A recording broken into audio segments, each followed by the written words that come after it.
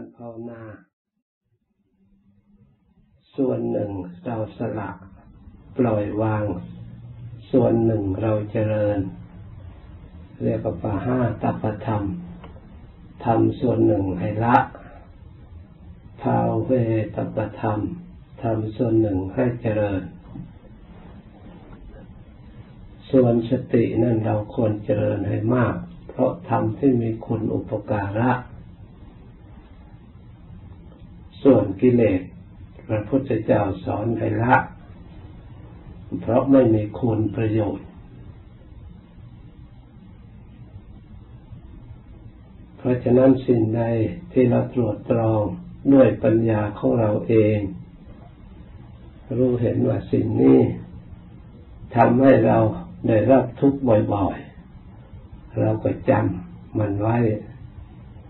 สิ่งนี้ไม่มีประโยชน์แก่ตัวของเรา การคิดอย่างนี้ไม่มีประโยชน์ การทำอย่างนี้ไม่มีประโยชน์ แต่ทำอันใดบางทีก็จิตใจไม่ชอบ แต่มันมีประโยชน์ เราก็ควรอดทน ควรเพียรพยายาม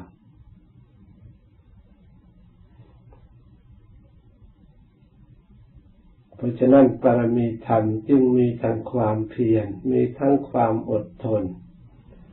มีทั้งส่วนให้ละ มีทั้งส่วนให้เจริญ มีทั้งส่วนให้กำหนดรู้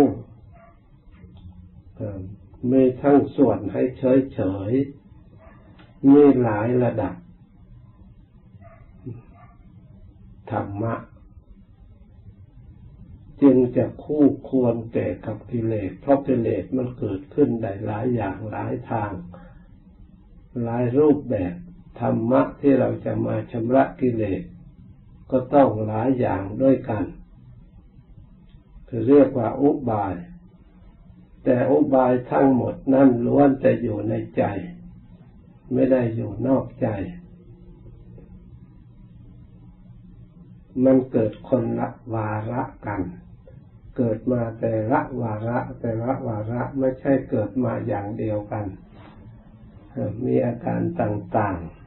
ๆ ถ้าเราไม่รู้กำหนดจิตใจของเราไม่ไม่ทัน ตามอารมณ์นั้นนั้นเราก็ย่อม เสียเปรียบ เวลาอารมณ์เหล่านั้นหายไปแล้วในส่วนดีเราก็ระลึกไม่ได้อีก เมื่อเราต้องการอีก ในส่วนไม่ดีเราก็ละไม่ได้อีก เพราะฉะนั้นการภาวนาเนี่ยควรกำหนดรู้ ควรกำหนดรู้จิตของเรา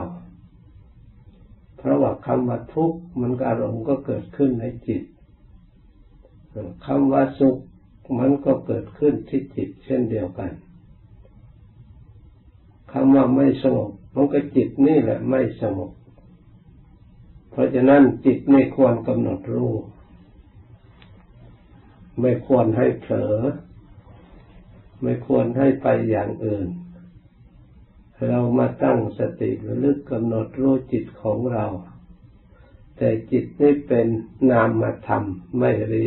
ไม่มีรูปร่างไม่มีสีสันฐาน เป็นธาตุรู้ เพราะฉะนั้น ถ้าเราจะกำหนดจิตรู้อย่างเดียว อาจจะไม่พออาจเผลอได้ง่ายๆพลิกแปลงได้ง่ายๆจึงมีธรรมบริกรรมตัวเป็นเครื่องกำหนดรู้ยังไงระลึกสิ่งใดที่มีประโยชน์ สิ่งที่เป็นคุณเป็นประโยชน์ เป็นที่พึ่งแก่เราทั้งหลาย เราระลึกยึดสิ่งนั้นเป็นที่พึ่ง เช่นว่าพระพุทธเจ้าเป็นที่พึ่งของเรา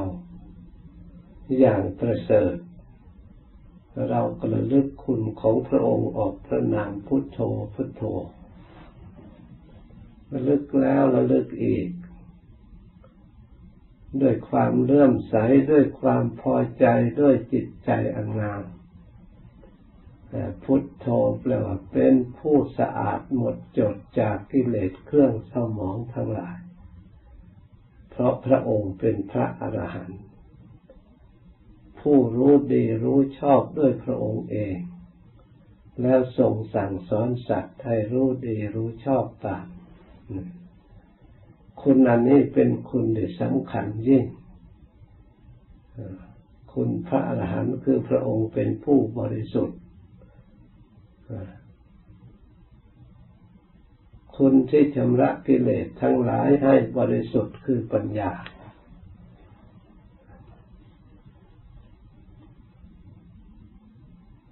ที่มีอยู่ในตัวพระองค์ พระองค์ก็ใช้ความบริสุทธิ์ใช้ปัญญาด้วย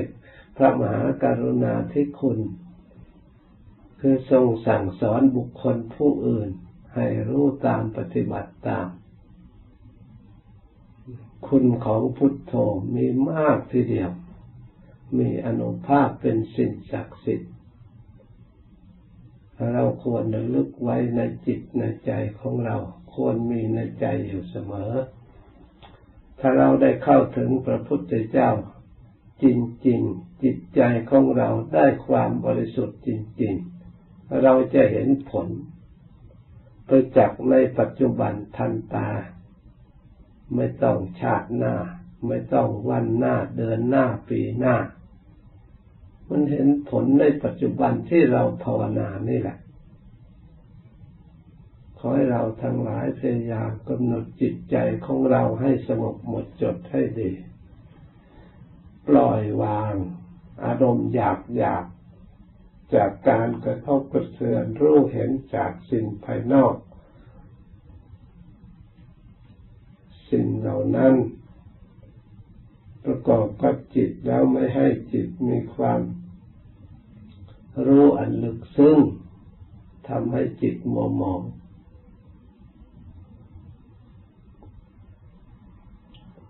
ที่พระพุทธเจ้าสอนให้ละ ให้ปล่อยให้วาง อารมณ์ภายนอก รูปารมณ์ สัทธารมกันธารมรสารมโพธพารม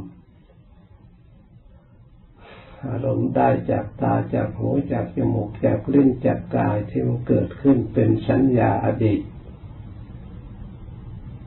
ที่ผ่านมาแล้ว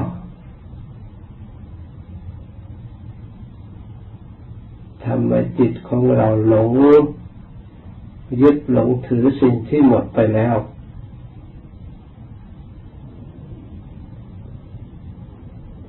ไร้ประโยชน์เปล่าๆไม่ได้ปัญญาในปัจจุบัน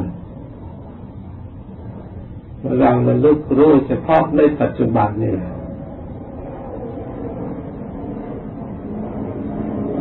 ทำบริกรรมลมหายใจพุทโธธรรมโมสังโฆในปัจจุบัน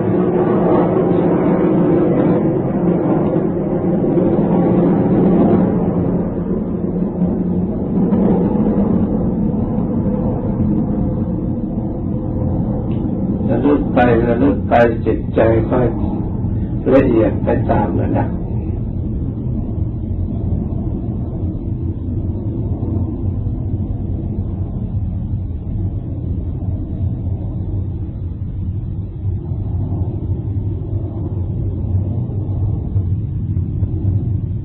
การกระทำเหล่านี้ เป็นหน้าที่ของเรา เราตรูว่าดูถ้าเราไม่สงบไม่มีใครสงบให้แทนเราเลย สงบแทนเราไม่ได้ ถ้าเราไม่ทำความสุข ให้บังเกิดขึ้นในจิตใจของเราคนอื่น แทนไม่ได้ช่วยไม่ได้ เป็นอัตติอัตโนนาโถของเราโดยแท้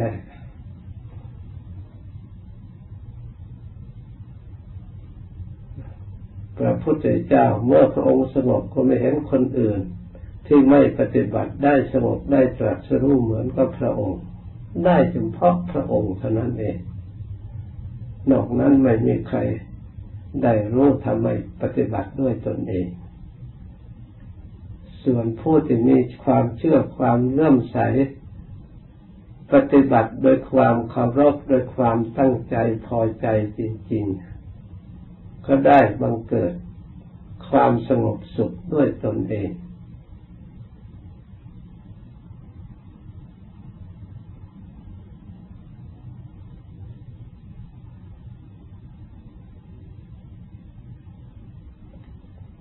เพราะการกระทำเหล่านั้นเป็นหน้าที่ของเราโดยเฉพาะ เราควรปฏิบัติเมื่อได้แล้ว ตามเราจริง ๆ เป็นสมบัติใครทำลายไม่ได้ ใครมาเป็นเจ้าของโดยตรงไม่ได้ นอกจากเขาประพฤติปฏิบัติของเขาเองจึงเป็นสิ่งที่เราทั้งหลายพึงทำความพอใจและอิ่มใจที่เราได้ประพฤติได้ปฏิบัติ เป็นสมบัติของเราเอง เมื่อเราประคับประคองจิตใจของเราให้ละเอียดจนได้ความสงบความสุข ด้วยจิตใจอันดีงาม สร้างสรรค์จิตใจของเราให้ดีมีอารมณ์ดี ค่อยปล่อยวางที่สิ่งที่ไม่ดีให้ถึงความละเอียดสงบไปตามระดับ เหมือนกับเราปล่อยวางอารมณ์ ไปปฏิบัติไปมันก็ขาดจากอารมณ์ภายนอกเองเหลือแต่อารมณ์ภายใน ขาดไปขาดไปค่อยละเอียดไปรู้ไป เอาความรู้ตามไปจนถึงที่สุด ไม่ให้เผลอ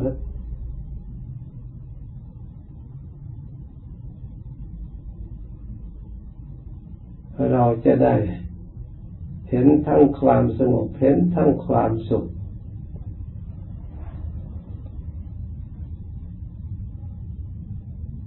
ความเห็นที่เกิดขึ้นที่อยู่ในจิตสงบเป็นความเห็น ที่มีความปิติอิ่มใจ มีความสุขในใจ เป็นความเห็นที่ตามความเป็นจริง เกิดขึ้นเฉพาะจิตที่ภาวนาให้สงบเท่านั้นจึงเกิดขึ้น ถ้าไม่สงบแล้วความปีติและสุขประเภทนี้ไม่เกิดขึ้นในจิตทุนไปอย่างอื่น เราะฉะนั้นความสุขจากการภาวนาจึงเป็นความสุขพิเศษ ไม่เป็นของสาธารณะทั่วไป ช่วยเหลือกันโดยตรงไม่ได้ เราต้องช่วยเราเอง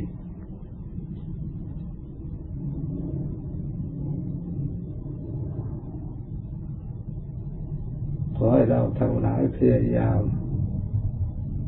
ถึงเบื้องต้นแต่ยังไม่สงบก็ไม่เป็นไร ขอให้เพียรพยายามไปรู้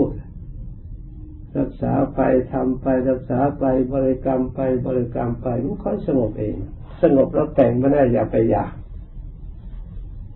ถ้าเราอยากให้สงบแล้วมันไม่สงบมันจิตใจก็มันไม่สมหวังก็มันภาวนาไม่ไม่ผ่องใสในจิตในใจ มันเกิดความไม่สบายในใจขึ้นมา ถ้ามันไม่สมที่เราตั้งใจไว้ เพราะฉะนั้นความสงบนี่เราไม่ควรไปหมายไว้ก่อน เราเพียงแต่คิดว่าเราภาวนาเพื่อความสงบเท่านั้นก็พอแล้ว แต่ริเริ่มในเบื้องต้น แต่เวลาภาวนาจริง ๆ แล้วไม่เอา อย่างนั้นเอาความรู้ที่เราระลึกต่อเนื่องกันไม่ให้เผลอ นี่เป็นงานของเรา งานของเราคือสติ กับความรู้ตัวสองอย่างไม่ให้เผลอ ถ้าเราทำได้อยู่ตลอดเวลาอย่างนี้จิตคล่องตัวเข้าออกได้คล่องตัวแล้ว เราจะพิจารณาส่วนไหนมันก็มีกำลัง รู้เห็นได้ชัดขึ้นมา ถ้าสติกับความรู้ตัวกำลังไม่พอพิจารณายกอันไหนก็ไม่เห็น มีแต่เดาเอา คาดคะเนเอา ใช้สัญญาอดีต รู้เพียงชั้นในขั้นสัญญานั้นไม่มั่นคง ไม่สามารถที่จะตัดความสงสัยได้ตัดกิเลสคือความสงสัยได้ เพราะแม้แต่สัญญาเองก็เป็นอนิจจา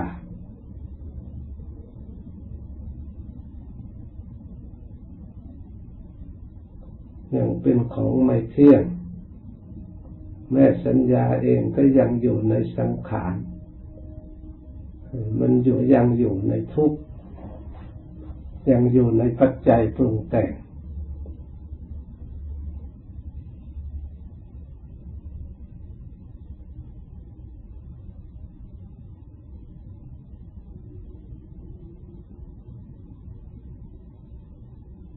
ส่วนที่เราบริกรรมภาวนาระลึกไปเรื่อยๆ ชำระไปเรื่อยๆ มันสะสมความรู้ ความรู้ตัวก็ดี ความระลึกก็ดี เมื่อมันขาดจากอารมณ์ภายนอกแล้ว จิตค่อยผ่องใสค่อยละเอียดไปตามลำดับลำดาของจิต ความรู้เห็น ที่เราไม่เผลอที่เราทำงานอยู่นี่แหละ เราจะได้รู้เห็นธรรมอันเป็นความจริง สัมผัสกับความจริงในปัจจุบัน ถ้ามีสติอบรมให้เผลอได้เข้าตั้งมันถึงสมาธิ อย่างมั่นคงแล้วเราก็ได้ปัญญาเกิดขึ้น รู้ เรื่องสมาธิรู้เรื่องของความสงบ ที่มันเกิดขึ้นในตัวของเราเองไม่ต้องเดา เพราะความสงบนี่ไม่มีสีสันวันณะอย่างอื่น พอจะใหญ่คนอื่นได้มองเห็นโดยตา หรือไม่มีกลิ่นพอที่จะได้ดมได้ ไม่มีอะไรกระทบพอมีเสียง เพราะเป็นนามธรรม ความสงบความสุข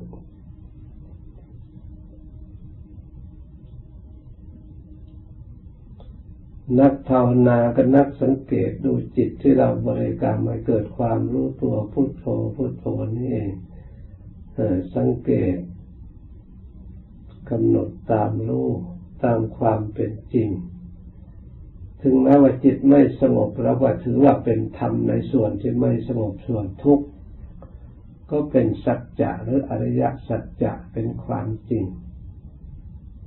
เราก็เรียนรู้ความจริงคือทุกข์คือไม่สงบนั่นเอง เราเห็นทุกข์มาก ๆ เกิดความเบื่อหน่าย มันก็เป็นสามารถให้จิตสงบได้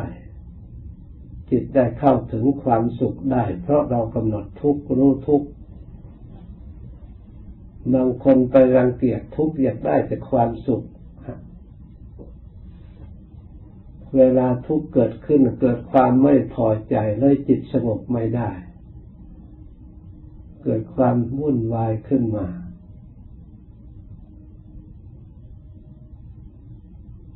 ราะฉะนั้นจึงจำเป็นจะต้องมีสติสัมปชัญญะรู้เท่าสังขารที่มันเสนอมาให้เรา เช่นความไม่สงบก็ดีความไม่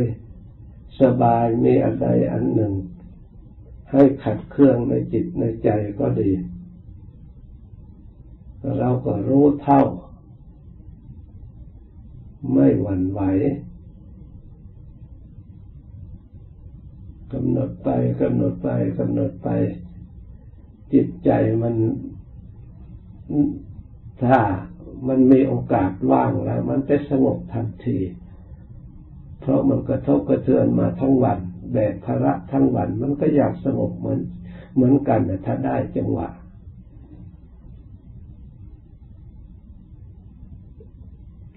เพราะฉะนั้นขอให้เราทั้งหลายสำเนียก งานของเราคือระลึกกับความรู้ไม่ให้เผลอทำไปทำไปทำไปจนชำนาญคล่องแคล่ว ถ้าใครคล่องแคล่วเคยฝึกหัดชำนาญแล้ว จะยกจิตขึ้น พิจารณาอะไร มันก็ชัดแจ้งเราก็ทำตามระดับละเอียดก้าวหน้า เพื่อให้ได้รู้ในส่วนที่เรายังไม่รู้ พื่อละให้ได้ในสิ่งที่เรายังละไม่ได้ที่ยังเหลืออยู่ ให้เบาบางไป ที่ละเล็กที่ละน้อยให้มันจืดจางไปตามระดับดำดา ตามภูมิจิตใจของเรากำลังของเราที่จะทำได้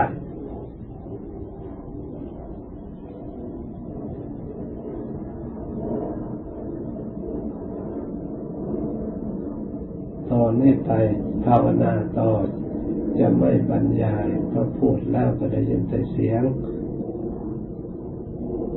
เรากำหนดรูปภาวนาสมควรเป็นเวลาแล้วจึงเลิกพร้อมกัน